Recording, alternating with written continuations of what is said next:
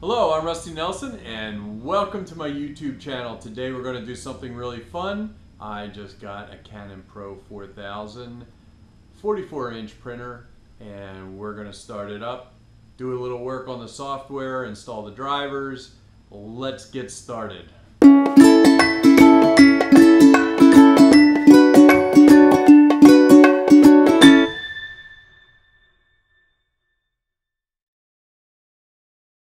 Pretty exciting day here. Get to start up a brand new Pro 4044 inch printer. I will say right away, um, it is pretty much going to be the same for the 2000, 4000, 6000 and the S models alike. Also a lot from the 1000, but I did do a video on the 1000 that was pretty comprehensive. Please, you know the game. Please hit subscribe please hit uh, the little bell so that you can get notified of other videos that I'm doing. I'm not sponsored by anybody, so I don't spam anybody. Um, I'm not going to send out any emails, but you will get notified of new videos, and it really helps me out get kind of lifted up in the YouTube world. If you would when you have questions, uh, remarks, please don't send them to me personally. Put them in the remarks below because I just don't have time to answer individual questions and I end up getting the same repeat questions over and over again. I also have a Facebook page and rustynelson.com. You can please sign up through those and Instagram, all through rustynelson.com, and there's also a blog. Anyway, let's get started on this thing because I'm pretty excited. First thing I'm going to do is pull off a lot of this stuff and I'm not going to bore you with it until I get to some stuff that's a little interesting.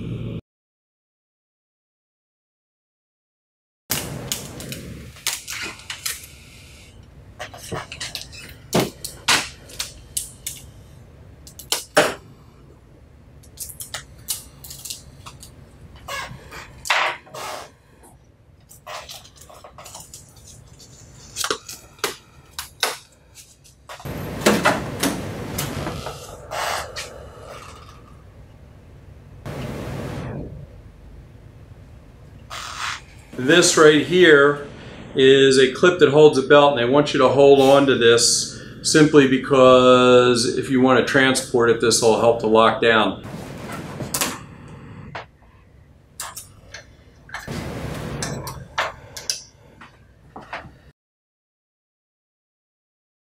The next step is to actually plug it in. Woohoo! Here we go folks. And that's one good sign. We are actually in New York time zone. Select OK and start by referring to the setup guide instructions. And if this is anything like the Pro 1000, it's going to walk you through everything step by step. I'll show you installing one ink and then we'll move on. I already installed the PM ink and the red lights on. To install it, you need to shake this six or seven times. And the manual actually says, notice these are very small cartridges. It actually says that you may want to order more ink quickly, that this is only used to start the machine up. And I'm sure when we go to take a look at the level of ink used, we are going to realize that to be true. Nothing really gets forced here. And that's about it. I'm going to run through the rest of these really quick and then I'm actually going to go and order some more ink. Here we are, the last one. Click that down. It says pull ink tank level over towards you. Still talking about that. Probably wants us to close the last one.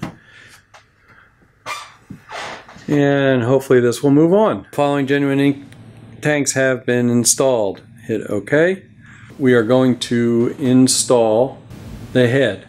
Release print head lock lever.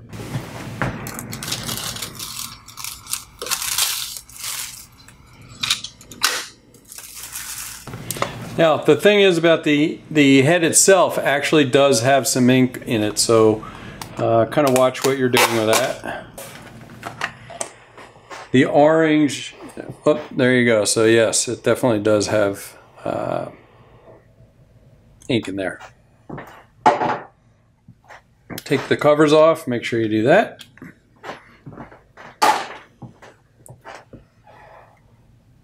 Big thing is, is you don't want to touch anything here and you definitely don't want to lay this down on the table.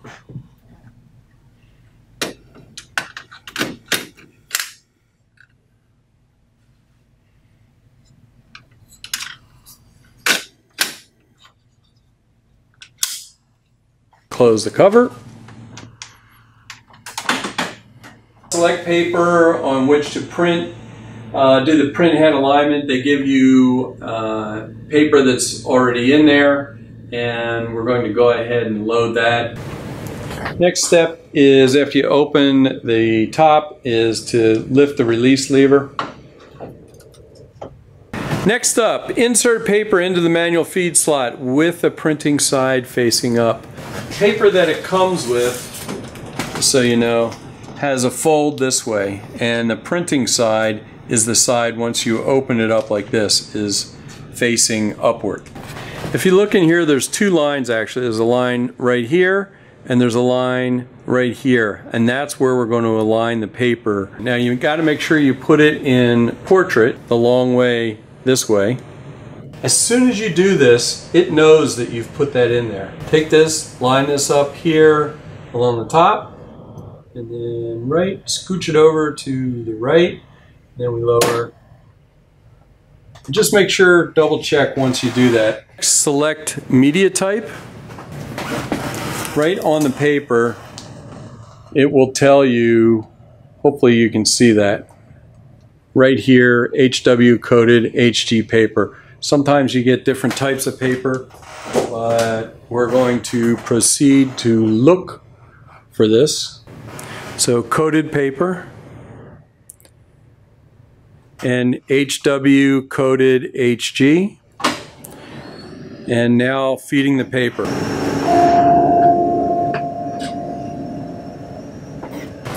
I just went around back and connected the wired LAN connection. Now, once again, I am running an Ethernet cable out of my PC and it's in a switch box and split between my 9120, my 1000, and my 4000. The big thing to remember is you do not connect if you are using a USB right now. Make sure you read that, make sure you understand that. Do you want to connect a computer to the printer with a wired LAN? Yes. Connect the Ethernet cable. We already did. Now, when I hit that, you could definitely hear it click. And it says, filling the print head with ink. Do not turn off power. Meanwhile, set the computer or smartphone, etc. See setup guide and continue with operation. Now I have to say, I've talked to tech support three times. Get it? Three times. And each time I've gotten a different answer to this. I hate to say that, Canon, but you really need to get on the ball with your tech support and setting up this printer. They should have this down cold. Here is the instructions right now. Okay, I was told it says to type in ij.start.canon. If you do that into your browser bar, it takes you to an Asian website. So, this is what I was told to do since I already have the media configuration tool and the other software plugged in there was while this was going on, go and download the drivers for the 4000. So that's what I'm going to do. Let's see what happens. Right now what I'm going to do is jump on to the Canon website and this gives you the most up-to-date drivers for your unit. This is a fairly simple process. Just type in Canon Pro 4000 software and make sure that you're on the proper country site and make sure you're at a Canon site and not some other strange site. But this is where you're going to find out all your information individually for the 1000, 2000, 4000, and 6000. Go ahead and hit drivers and downloads. Look for the regular driver for the Pro 4000. Install the regular Pro 4000 driver first. Then we're going to install the XPS driver. You always want to install the XPS driver after the regular driver and you cannot operate just the XPS driver without having the regular Pro Series 4000 driver installed. Now you may see something on there that says the complete software package. And in fact, it actually may have a earlier date and you're sitting there going, well, how can it be a complete package if the other drivers are newer? It will actually go back in and go find on the server the newer updates. But once again, we're going to go for the regular driver first for the Pro 4000. Obviously, if you have a 1, 2, or 6, that's the page that you'll be on. Go ahead and hit select, and you'll get a description of that driver. Go down for Windows, hit open when done. Now we just wait for the download, and that's about it. Obviously, if you're on a Mac, it'll be slightly different, but you're just going to open up this driver package.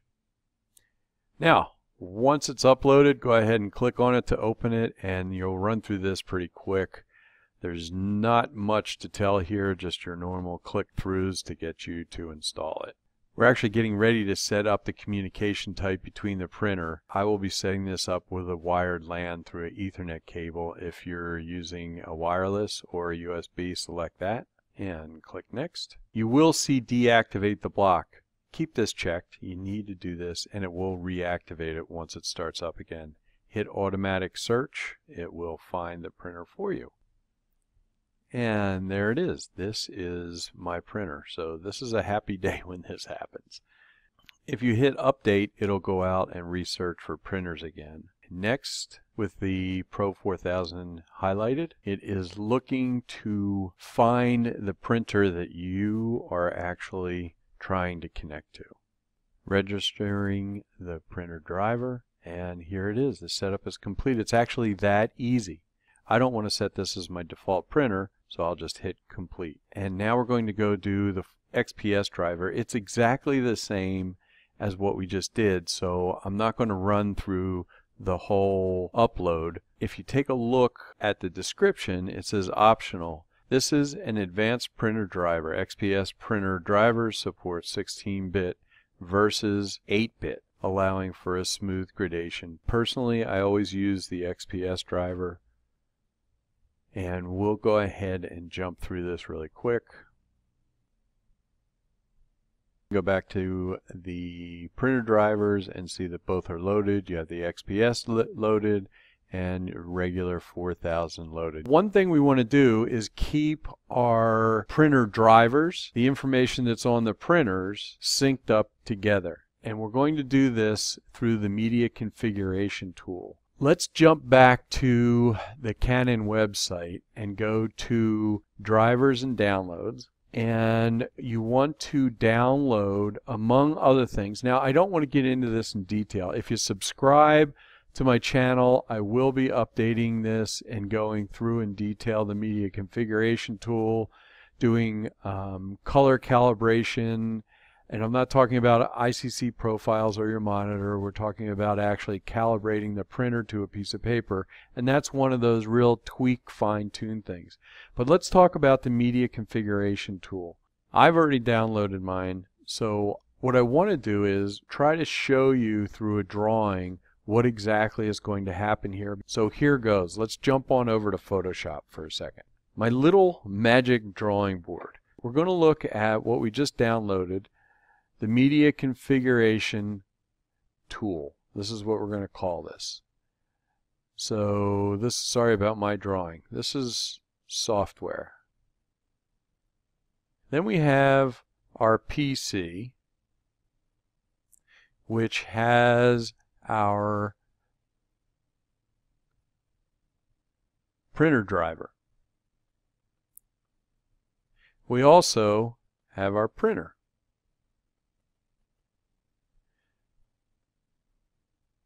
And in each of these, in our driver and our printer, we have information stored, such as the media that we're going to use. When the printer comes and you unload it, it has a certain amount of media on there. Now, as we all know, it's probably outdated. So what we're going to do is we're going to start up the media configuration tool. It's going to go out to the net and it's going to find all the updates to your media.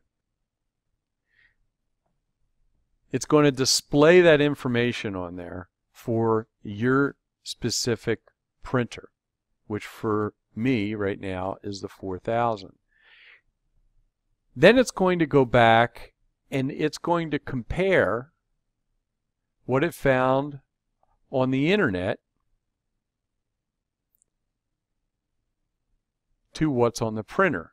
And it's going to give you the option to update your printer. And that could mean uh, deleting, adding, or updating. And that's going to be the first thing we're going to do. Then it gives us a choice of what to do. And we're going to go through the process of the media configuration tool is going to send that information that we tell it to, and it's going to sync your printer to the current information and the information you want on there. Then what's going to happen is it's going to ask, do you want to update the drivers? So the brain over here is going to say, look, you just updated your printer and you have all this new information over here. Now, do you want me to take this information and update the driver itself? And of course we want to do that. The thing is, remember, we have two drivers over here. We have the regular 4000 driver, and we also have the XPS driver. We need to update both of these individually. And that's what we're going to do right now. What a mess. But you need to do this to keep updated. Let's jump over to the media configuration tool. There's a bunch of things that are on here that we're not going to go over right now because like I said, if you subscribe, I'm going to go into the media configuration tool and some of the other software more in depth at a later date. We're going to tell the media configuration tool, I want you to go out and I want you to search for my printers. And that's what it's doing right now. Here is the 1000 and the 4000. Jump over to the 4000, update that. Now it's talking to the computer and it's saying, hey computer, what in the world do you have stored on there as far as media? It'll say add and update. Right now it says add and save. Actually goes out and looks at your printer and compares what is out on the internet to what is on your printer. And you're going to see one of basically three things. That it's registered and updated in your printer that it's not registered, meaning that this particular media type is not in the printer, or the other, there's an update available. Take an update for each one of these. I don't want to change too much because I'm sure you don't want to sit here and go through this whole thing with me. At a minimum, this is what you want to do is update anything that's on there. That way you know everything that's on your printer has been updated. Hit next and start. The media information printer will be updated. This process cannot be reversed. Don't let that scare you. It can be reversed, meaning that you can reload things. It, things don't go away. But if you do erase something, it's gone forever. And there we go. We are now updated properly, as it says. Do you want to update? And this is what I was talking about. So now we've taken and we've had the media configuration tool look at the printer and say, hey, printer, what do you have? Then it took the information that it had, went out to the internet and compared it and said, hey, we've got some updates to do And if you want to add or subtract anything, let me know. And that's what we just did. So now that information is actually sitting on the printer. Now the tool is saying, do you want to update the printer driver? Remember, we have an XPS driver and we have the regular 4000 driver or 1000, 2000, 6000, whatever you may have. Hit yes. We have two different drivers, XPS and 4000. Just click 4000 because I like doing things on the 4000, the regular driver first. Uh-oh, now comes up, click Update Media Information under Printer Properties. For a PC in the control panel, these are our drivers. Right click, Printer Properties, go to Device Settings. Down here it says Update Media Information acquires media information from the printer and updates the media information of the driver. Execute. As I said in the drawing, it's going back out to the printer and it's saying, hey, I see some updates that need to be done. We're going to hit OK. Now it's acquiring the media from the printer. You don't want to touch a thing. And there we go. It has been updated and that actually took in real time about four minutes. So just to recap really quick, we installed the printer, we installed the drivers, we updated the drivers through the media configuration tool. Now we're going to jump into the quick utility box, which is kind of a way to get to different information. One thing we haven't covered is one of those tweaking things is color calibration, which is calibrating different media to the printer itself. But just a quick look. This right here is the way the ink levels looked after a full installation. I have not printed anything yet. Maintenance cartridge. I always tell everybody, no matter what, have an extra maintenance cartridge on hand because it will stop dead in its tracks if you fill the maintenance cartridge up. So let's talk about a few more things and jump outside the computer world. That turned out to be a little bit more comprehensive than what I expected and a little bit longer, but hey, we got the job done and I can't wait to start printing some real prints on it, which I will make more videos about if you subscribe and hit the notification and you will get notified about them. Remember, I'm not sponsored by anybody, so you won't be getting spam uh, from anything. And you won't get any emails from me. Please, if you made it this far, put your remarks and questions down below because I won't have time to answer individual questions regarding this video. It's not that I don't want to, it just get, gets really laborsome going back over and over the same question. And I want other people to benefit from your questions because if you have them, that means somebody else probably has them. Anyway, my saying is, my camera is my best excuse for adventure, and it seems to go to some of the really fun places around this world. And I hope yours takes you on the same adventure because this printing is definitely one of them. I hope to see you out there.